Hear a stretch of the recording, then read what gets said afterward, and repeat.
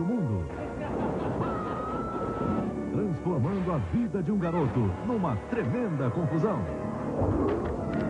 Eu não fiz isso. O Segredo do Fantasma. Filme inédito. Nesta sexta, na sessão da tarde.